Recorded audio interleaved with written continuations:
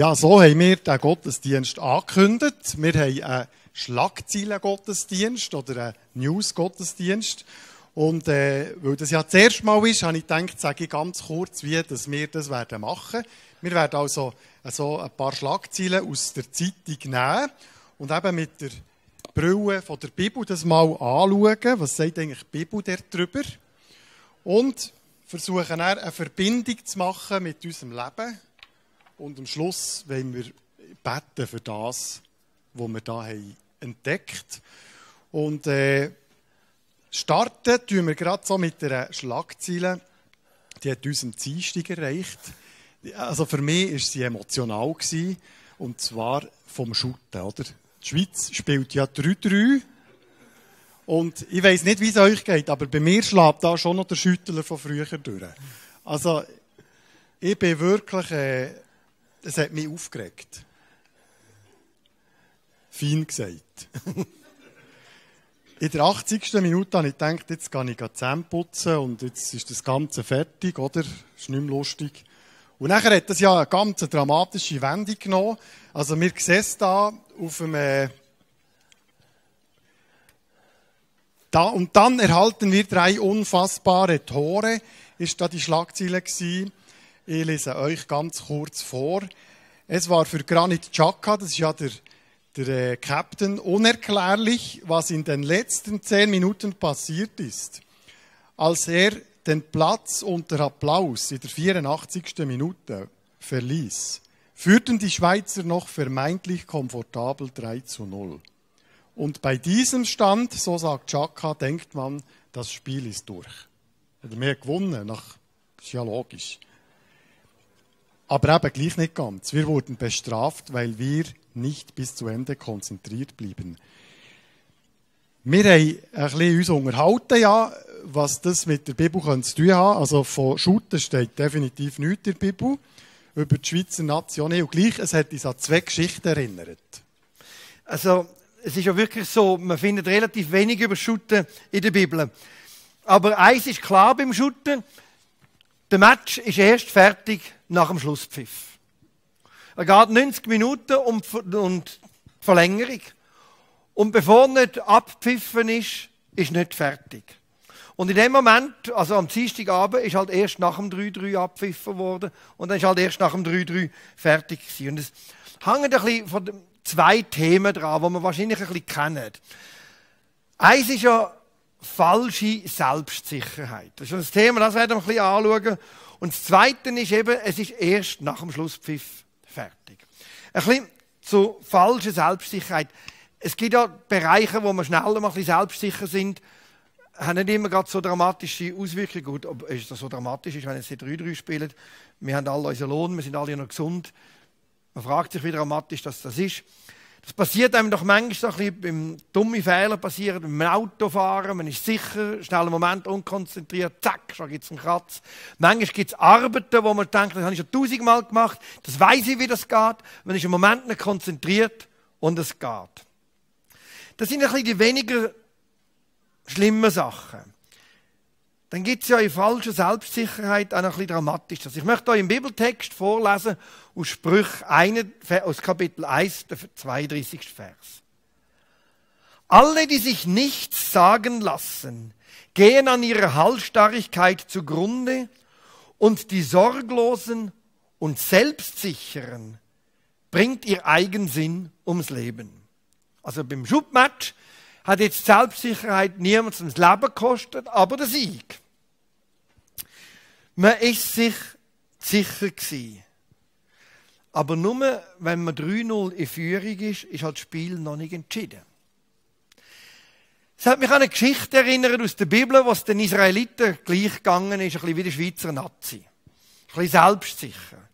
Und zwar ist es gewesen, den Israeliten ihre Hauptstadt ist belagert worden, Jerusalem, die Stadt mit dem Tempel, mit der Gegenwart Gottes. Und Gott hat auf eine wunderbare Art und Weise die Stadt errettet. Sie ist nicht besiegt worden. Als Fazit davon sind die Leute sehr selbstsicher geworden. Uns kann ja nichts passieren. Bei ihnen ist es jetzt so gewesen, Gott ist ja sowieso auf unserer Seite, da müssen wir uns gar nicht mehr so Sorgen machen.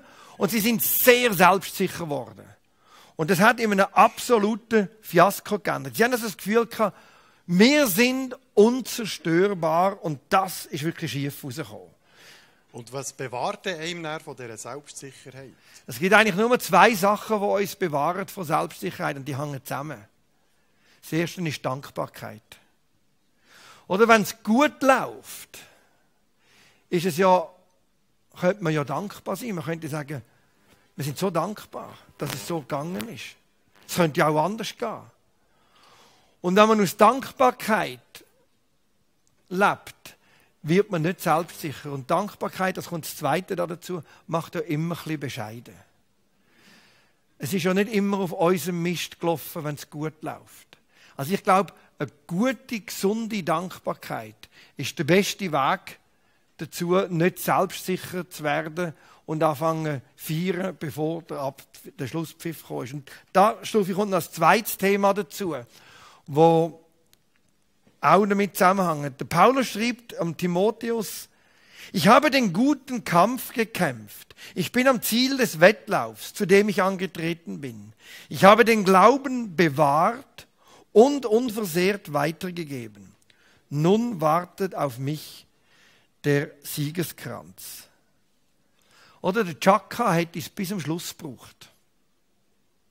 Und dann ist er rausgegangen aus dem Feld unter Applaus, hat quasi den Siegeskranz gefeiert, bevor abgepfiffen worden ist. Und dann ist es hinten rausgegangen. Es braucht uns bis zum Schluss. Das muss jetzt nicht einfach der Lebensschluss sein, das kann ja auch sein, der Schluss kann ja sein, Aufgaben, die erfüllt sind. Fertig ist erst, wenn wir fertig sind. Oder auch im Leben. Unsere Berufung, unsere Nachfolge hört nicht einfach auf. Mit der Pensionierung oder mit etwas anderem oder wenn Kinder ausgeflogen sind. Vieles mag sich ändern in Sachen Berufung oder Nachfolge. Aber es braucht einander. Es braucht, die jüngere Generation braucht immer die Erfahrung von den Eltern. Sie braucht auch immer Gebet von den Eltern.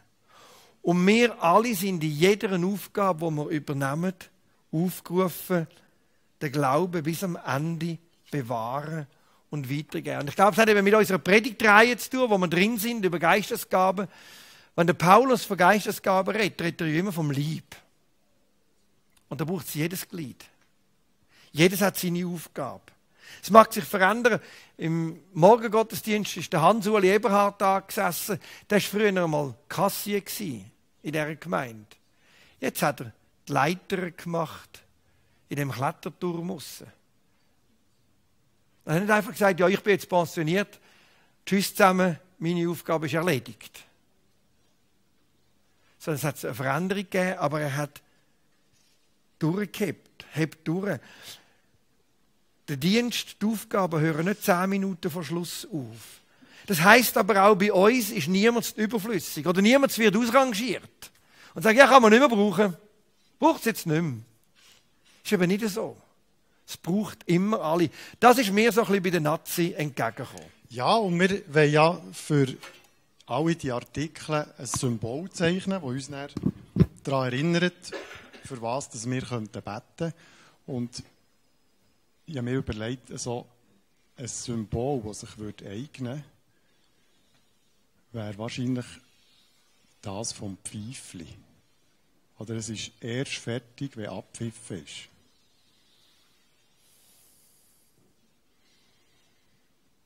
Sieht man, dass das ein Pfeifli ist?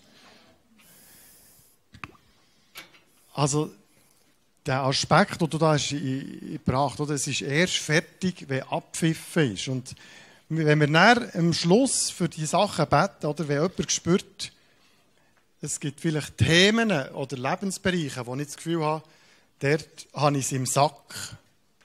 Da bin ich selbstsicher.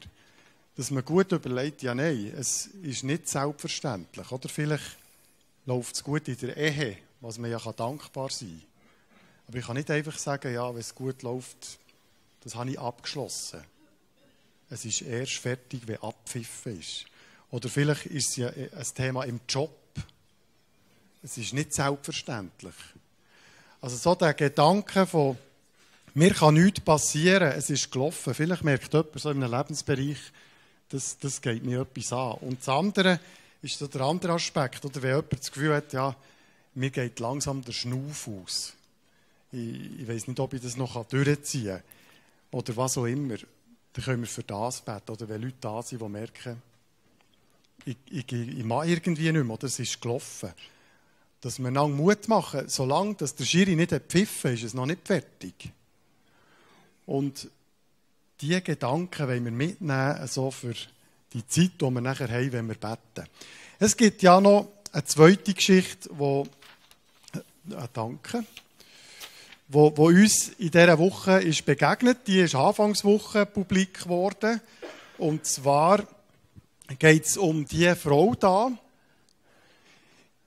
Da ist eine Studentin, 22, die ist in der ersten Klasse zugefahren und es ist äh, ganz eine spannende, tragische Begegnung geworden. Hat jemand das gelesen? Zeitung? Ja, doch, ein paar haben die Zeitung gelesen, nebst der Bibel, das ist super.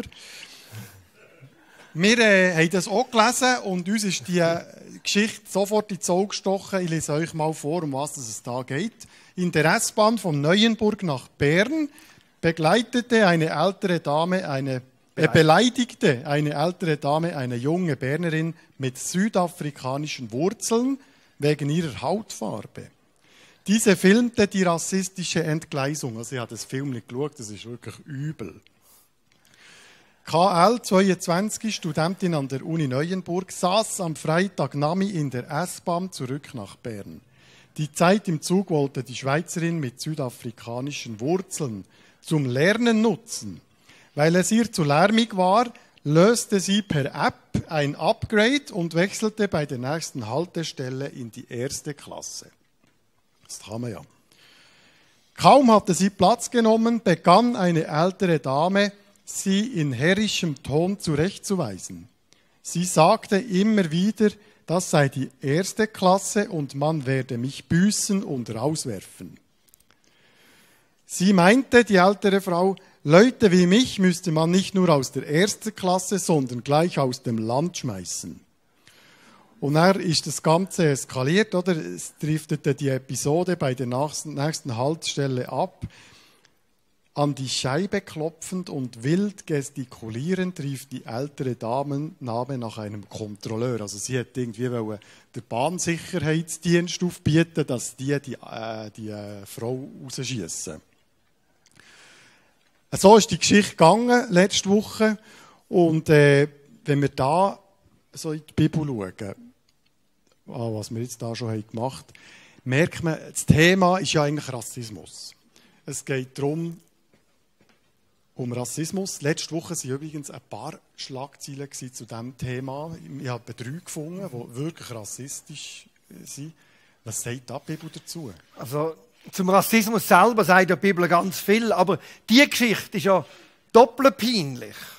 Es ist ja nicht nur Rassismus, es ist ja oben raus peinlich, weil der ganze Rassismus von dieser Frau entzündet sich oder kommt ja zum Vorschein, weil sie die junge Frau schubladisiert hat. Oder die hat die angeschaut und hat aufgrund von ihrer Hautfarbe, von ihrem Erscheinungsbild die Frau eingeordnet, aha, Ausländer, Sozialhilfeempfänger, Betrüger. Die haben gar kein Erstklassbillett. Oder die ist von Anfang an davon ausgegangen, jemand, der eine dunkle Hautfarbe hat, kann kein Erstklassbillett haben. Das ist ja oberpeinlich. Also, aber wenn man dann das anschaut, reicht es einem schon noch ein bisschen. Das passiert doch uns allen, dass wir Menschen aufgrund vom äußeren Erscheinungsbild schubladisieren. Sie hat sie jetzt völlig unterschätzt. Also ich meine, unabhängig, ob jetzt das eine Ausländerin wäre oder nicht, so hat man sowieso schon nicht. Aber es ist ja wirklich dumm, dass sie sich noch Taschen hat. Man tut manchmal Menschen unterschätzen. Oder manchmal ist man ja auch mega beeindruckt von Leuten, einfach aufgrund vom äußeren Erscheinungsbild. Es kommt auch nicht immer gleich gut. Und ganz offen gestanden, die Frau ist ja mit dem Problem nicht allein. Also Hand aufs Herz, das kennen wir alle. dass man Menschen schubladisiert und einordnet aufgrund vom Erscheinungsbild. Das ist ein altes Problem. Ich möchte euch eine Geschichte dazu geben. Der Prophet Samuel hat für das Volk Israel einen König suchen. Und wenn man einen König sucht, sucht man einen Leiter. Und wenn man einen Leiter sucht, sucht man eine, eine Person, die auftreten kann, die vorstehen kann und die den Tarif einmal durchgeben kann. Und so jemand hat Samuel gesucht und hätte voll die verkehrte Person gewählt, wenn Gott nicht eingegriffen hätte. Hört mal, was Gott sagt. Gott sagt zum Samuel, wenn er seinen Favorit hat, lass dich davon nicht beeindrucken, dass er, also dein Favorit, den du da hast, Samuel, groß und stattlich ist. Also braucht es einen Leiter, ein bisschen groß und stattlich. Ich urteile anders als die Menschen. Ein Mensch sieht, was in die Augen fällt. Ich aber sehe ins Herz. Äußere Erscheinung und Qualifikation stimmen eben nicht immer überein. Es ist eben nicht so, dass man einfach gerade jemanden anschauen kann und dann weiss man, der taugt für das oder taugt für das nicht. Oder manchmal hat man das Gefühl, vielleicht, es kann ja nicht nur eine äußere Erscheinung sein. Wow, die Ausbildung, die Bildung. Dem, die Person muss ideal sein für die Aufgabe. Das sind so äußere Merkmale. Und das stimmt eben nicht. Auch Jesus hat seine Jünger aufgefordert, nicht einfach nur nach dem urteilen, was vor Augen ist. Das täuscht. Und der Paulus, der hat seine liebe Mühe gehabt mit den Korinther. Die sind jetzt nicht von äußeren Erscheinungsbildern, sondern die sind mega hin und weg von Leuten, die rhetorisch brillant sind und mega clever geredet haben. Du hast ja in der Predigt letzte erwähnt, da die Weisheit. Und dann habe ich gesagt, hey, lasst euch nicht von dem beeindrucken. Das Kreuz von Christus ist eine Torheit in den Augen der Welt. Bei Gott kommt es auf andere Sachen an, als auf das, was uns gerade sehen. Wir denken, wow, die ideale Person. Wir Menschen lassen uns schnell vom Äußeren leiten. Blitzschnell. Es geht ganz schnell.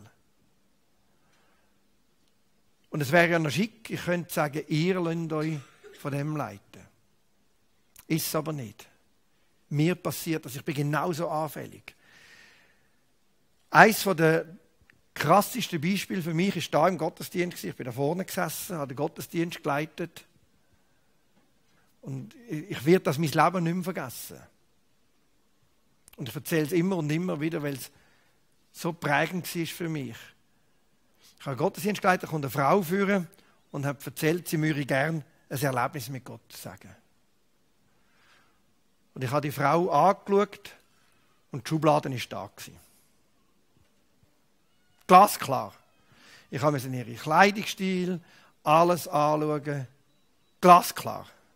Ich gewusst, ich komme aus dem und dem Umfeld, also das ist mir völlig logisch gewesen. Die habe ich in die Schublade tun und denken, nein, so nicht. Und ich weiß nicht mehr, was es war. Mal, ich weiß es noch ein bisschen, was es war. Ich habe am Vortag an einem Bibeltext geschafft. Und in einem Anflug, wie von letzter Sekunde, hat Gott gesagt, nein, die lass jetzt reden. Und dann habe ich gesagt, also gut, sie soll führen. Und ich dachte, oh nein. Dann ist sie führen und fängt an und wisst ihr was? Sie war in der richtigen Schublade. Gewesen. Ich habe sie voll in die richtige Schublade hineingetan. Voll. Das hat sie ja gar gesagt. Also sie hat ja nicht gewusst, welche dass ich sie drin habe.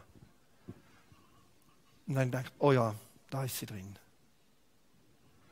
Und dann hat sie erzählt, wie sie, was sie mit Gott erlebt hat in dieser Woche. Wie sie einer früheren Studienkollegin begegnet ist und wo erfolgreich war und sie ist nichts und wie sie fast abgestürzt wäre über dem Gedanken und plötzlich sich erinnert hat, ich habe ja auch Gott erlebt. Ich habe Gott erlebt. Ich bin krank. Ich habe beruflich keinen Erfolg ich habe keine Familie, aber ich habe die, die und die Erfahrung mit Gott gemacht. Und das ist nicht nichts. Und ich weiß noch, als sie fertig war, es war totenstill. Totenstill. Und ich wäre am liebsten, einerseits habe ich mich unglaublich gefreut, was da gerade passiert ist. Und andererseits habe ich mich so geschämt, dass ich am liebsten denke, Erde öffne dich. Und ich werde drin versunken. Und Gott hat glasklar zu uns geredet. Und ich kann sagen, in Sachen Eigenidentität und einen gesunden Selbstwert ist die Frau wahrscheinlich weiter gewesen wie ich. Weil sie es nicht müssen binden an irgendwelche Leistungen oder Erfolge, sondern an das, was sie mit Gott erlebt hat. Und offensichtlich passiert uns das, mir passiert Und ich glaube, auch da hilft uns unsere Predigtreihe. Wenn immer der Paulus davon redet, dass es Geistesgaben gibt, redet er ja vom Lieb. Und das ist ja so, Gott gibt seinen Geist allen. Wir alle zusammen sind lieb Christi. Und da spielt es keine Rolle mehr, ist jemand Mann, Frau, Arbeitgeber, Sozialhilfeempfänger, Schweizer, Ausländer. Wir alle sind Teil an dem Lieb, wo empfangen und wo geben. Und wir alle brauchen einander immer wieder. Und wir alle brauchen es immer wieder, dass wir einander mit den Augen von Gott sehen So, wie er uns sieht. Und ich wünsche mir das eigentlich für die ältere Frau, dass sie das Auge von Gott für ihre Mitmenschen bekommt. Und das wünsche ich mir für uns auch. Und so als Anker, dass wir uns daran erinnern, zeichne ich ein Auge, wo uns an das erinnert.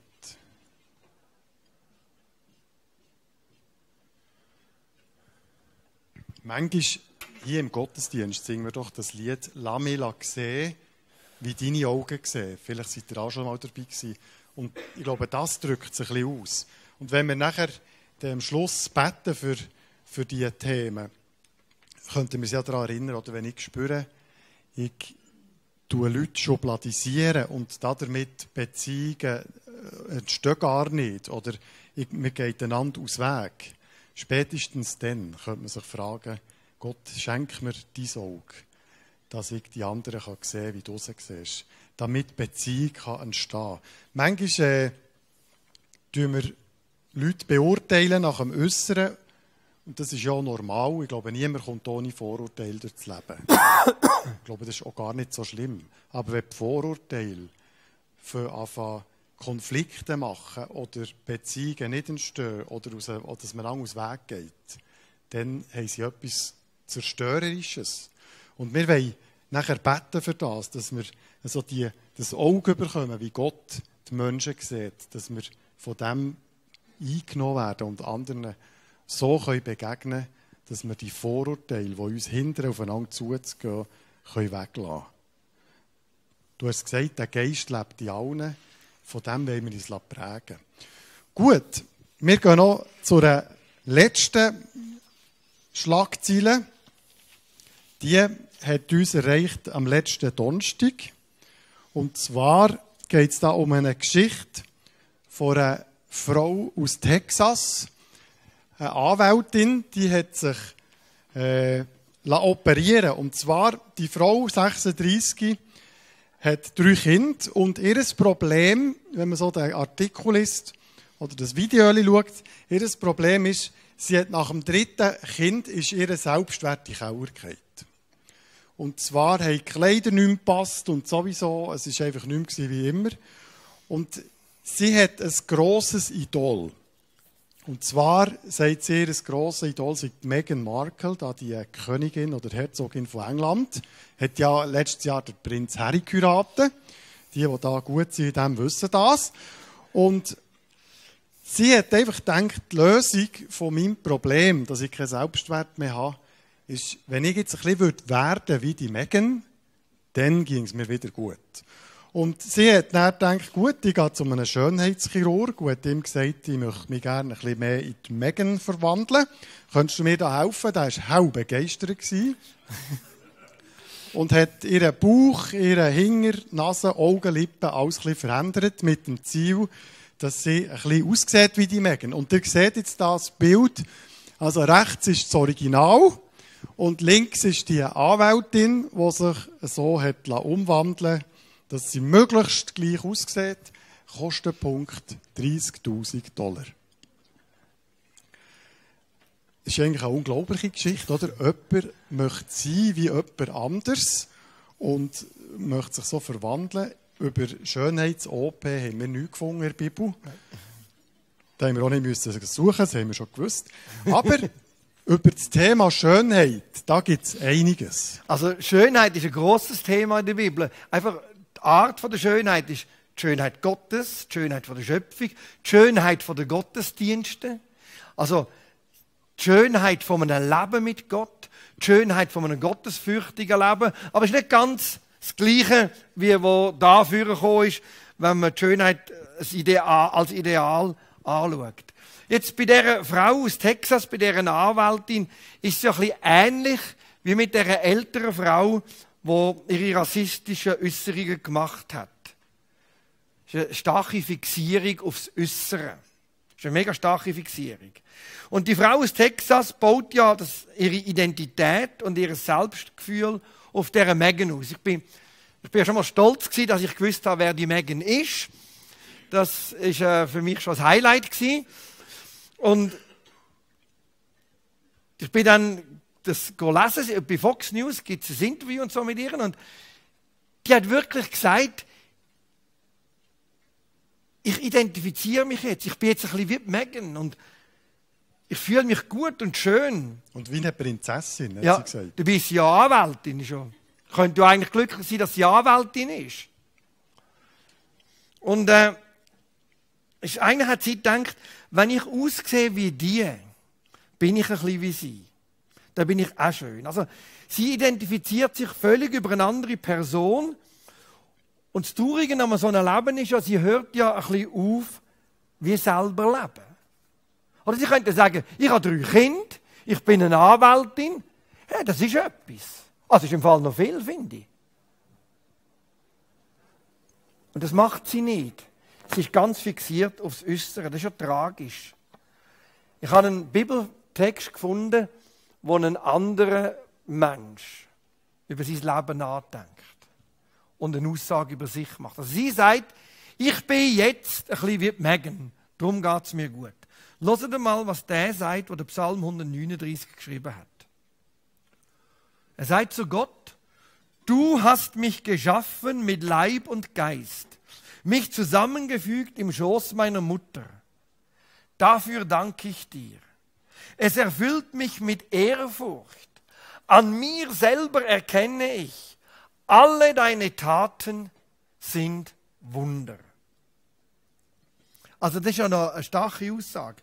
Also da sucht ja nicht mehr jemand verzweifelt, etwas aus sich zu machen, oder wie im Fall von der Frau aus Texas, ich lasse aus mir etwas machen, wie wenn der menschliche Körper ein Bausatz wäre, sondern sie, der sagt, du Gott hast mich gemacht. Du hast mich gemacht. Und wer weiß, dass ein Gott gemacht hat, muss ja auch nicht vergleichen. Und ich finde jetzt so eine Person, die so etwas sagen kann, unglaublich stark und attraktiv. Ich habe mir überlegt, das bräuchte noch Mut. Wenn ich jetzt dafür kommen würde sagen und euch allen würde sagen, an mir selber erkenne ich, alle Taten von Gott sind wunderbar. Sagst du? Wisst ihr, der zweite Teil könnte ich auch noch sagen. Alle deine Taten sind Wunder aber ich hätte mich nie dafür zu sagen, an mir selber erkenne ich alle deine Taten. Du bist eine unwahrscheinliche Formulierung. Ist euch aufgefallen? Er sagt nicht, an mir selber erkenne ich, ich bin wunderbar. Das sagt er nicht.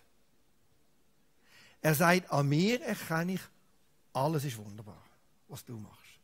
Also da hört ja das Vergleichen auf. Das ist ja nicht mehr, ja, ich bin, sorry Stuffi, ich bin jetzt halt wunderbar, du hast jetzt vielleicht ein bisschen Pech gehabt oder ja, ich bin halt nicht wunderbar, aber du bist es. Beides findet nicht statt. Er sagt, an mir erkenne ich es. Und an euch erkenne ich es. Alles, was Gott macht, ist wunderbar. Alles. Und ich bin Teil von dem alles. Ich gehöre da dazu. Das finde ich eine unwahrscheinlich starke Aussage. Und ehrlich, ich hätte immer noch ein bisschen Hemmungen, das zu sagen. Und muss es ja, ich kann es ja einfach vorlesen, dass das Psalmist gesagt hat.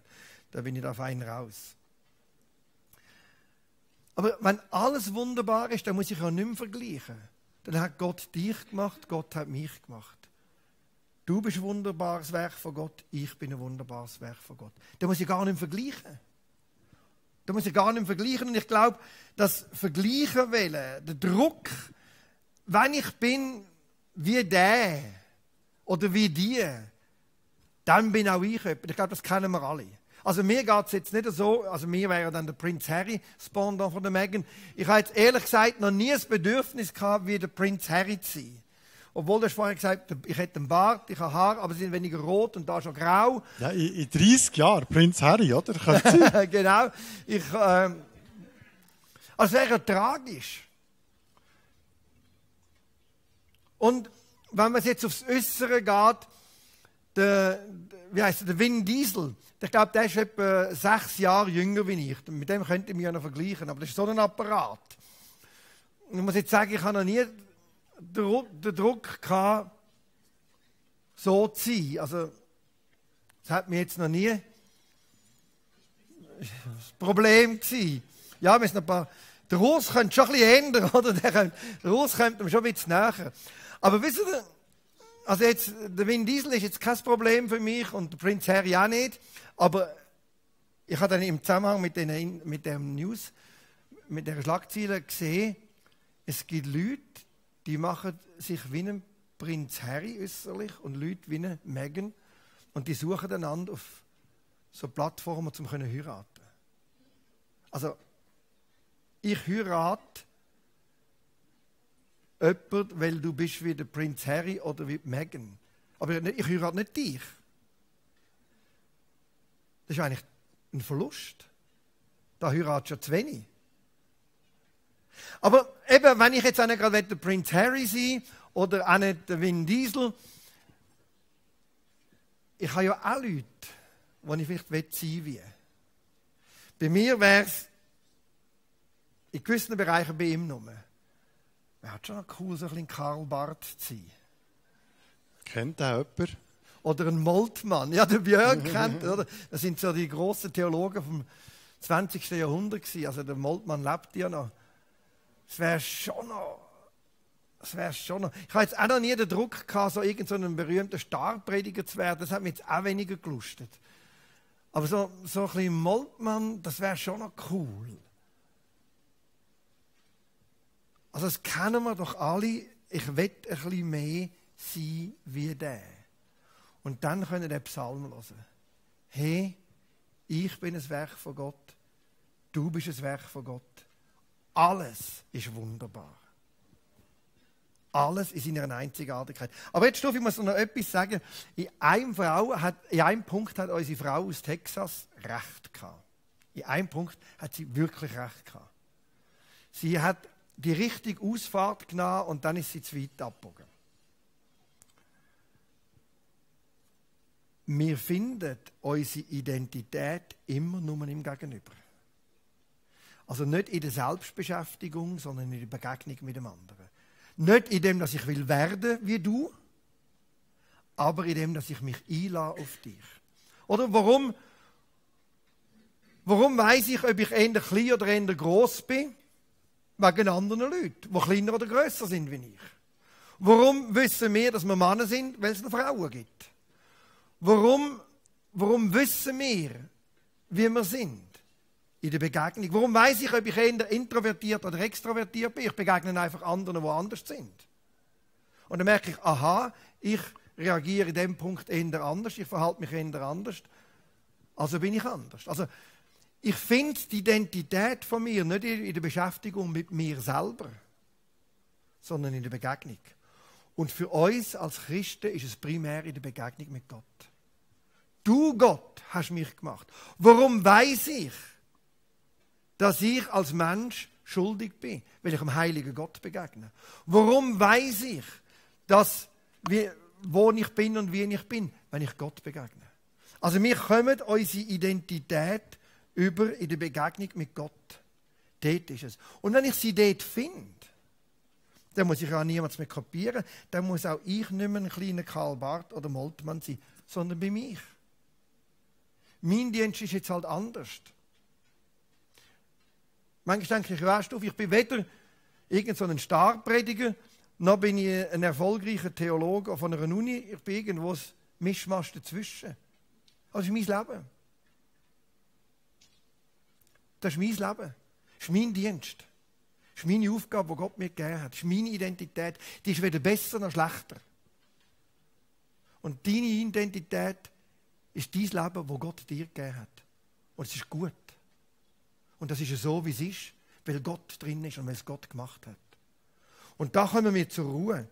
Gott hat uns ja alle als Original gemacht. Dann ist ja traurig, wenn wir als Kopie sterben. Ist ja mega traurig. Stellt euch vor, auf meinem Grabstein würde stehen, er war ein bisschen wie der Moltmann. Das wäre mega traurig. Ich bin nicht ein bisschen wie er. Ich auch nicht ein bisschen wie, was gibt es für Starprediger? Ich weiß auch nicht, wie die heißen. Ich bin auch nicht ein bisschen wie der Harry. Gott schreibt seine Geschichte mit dir und mit mir. Nicht mit mir, wenn ich mal ein so bin wie der. Gott hat dich und mich als Original geschaffen. Und braucht dich und meine, deine Geschichte und meine Geschichte, um seine Geschichte damit zu schreiben. Das ist mir der Wunsch. Ich wünsche dir, dass der Anwältin aus Texas, dass sie die Erfahrung machen können und sagen, Gott, an mir erkenne ich, alles, was du machst, ist ein Wunder. Und ich gehöre da dazu. Und darum habe ich das Kinderlied so gerne. Es gibt große Wunder, kleine Wunder. Du bist eins davon und ich bin eins davon. Das ist eines meiner liebsten Lieder, weil ich finde den Text derart clever. Ja, es läuft dann immer so nachher. Gell? Wenn wir ja, das singen bei uns äh, heim, klingt es den ganzen Tag nachher. Wir äh, haben auch ein Symbol für das, was wir jetzt haben gehört und zwar ein Fingerabdruck. Das ist wahrscheinlich eines der eindrücklicheren Symbole, wenn es darum geht, dass wir original sind. Wir alle haben ja ganz eigenen, eigenen eigenen Fingerabdruck. Es gibt nicht zwei gleiche. Und das soll uns an das erinnern, wo, wo wir jetzt haben gehört Dass wir uns nicht müssen vergleichen mit anderen, weil wir haben einen eigenen Fingerabdruck, eine eigene Geschichte, eine eigene Identität. Und ich vermute, es geht ganz vielen so, dass wir uns vergleichen. Manchmal überheben wir uns über andere, weil wir denken, wir sind besser. Vielfach wahrscheinlich machen wir uns eher klein, weil die anderen haben ja das. Und ich denke, ihr wisst genau, wo ihr anfällig seid. Oder, wir haben es jetzt gesehen, die Frau hat ihr Äußere, hat sich im Äußeren stark verglichen. Man kann sich mit ganz vielen Sachen vergleichen. Oder die haben irgendwie die bessere Ausbildung, die haben mehr Geld, das ist Karriere, Auto, man, oder man kann vergleichen, die wohnen so und die so. Mit dem Kind, oder, ist extrem, oder? Mein Kind kann schon das, kann schon laufen, es geht schon ins Frühchinesisch. Oder das, das, das ist extrem, was auf dieser Ebene abgeht, mit dem Vergleichen, was haben die, was haben wir nicht und was auch immer. Und die gehen da in die Ferien und die da, was auch immer. Ich glaube, es gibt auch nichts, wo man sich nicht vergleichen könnte. Und ich glaube, wir spüren doch alle die Dynamik, das Vergleichen, das macht unser Leben schwer. Das macht das Leben manchmal kompliziert. Manchmal machen wir verrückte Entscheidungen, weil wir so vergleichen. Und ich glaube, die Schlagzeilen und der Blick in die Bibel, den du vorhin uns gegeben hast, kann uns daran erinnern, hören wir doch auf, so vergleichen. Weil wir sind einzigartig. Gott hat uns etwas hineingelegt und das ist gut. Genug genügt. Das ist gut so. Und wir, äh, wollen, wir wollen nachher beten für das, dass wir uns nicht müssen vergleichen müssen, sondern der Einzigartigkeit, die Gott uns hat hineingelegt dass wir uns die bewusst sein können. Und ich schlage vor, dass die Band vorkommt. Wir schließen das mal so ab. Es gäbe ja noch häufig andere Schlagzeilen, die uns begegnet, die auch spannend wären, mal einen Blick von der Bibel drauf zu werfen und schauen, was es mit uns zu tun hat. Wir bleiben mal bei dem. Also, wir machen jetzt eine Zeit vom Lobpreis, wo wir Gott anbeten wollen und gleichzeitig auch die Möglichkeit für zu reagieren auf das. Ihr könnt während der Lobpreiszeit, äh, Lobpreiszeit vorkommen. Wir, wir wollen hier vorne miteinander beten. Und zwar beten für die, die irgendwie spüren, ich, äh, es ist erst fertig beim Schlusspfiff. Ich habe es irgendwie ja, innerlich aufgehört. Vielleicht bei einem Thema. Oder mit Beziehungen oder was auch immer. Ja, innerlich aufgehört.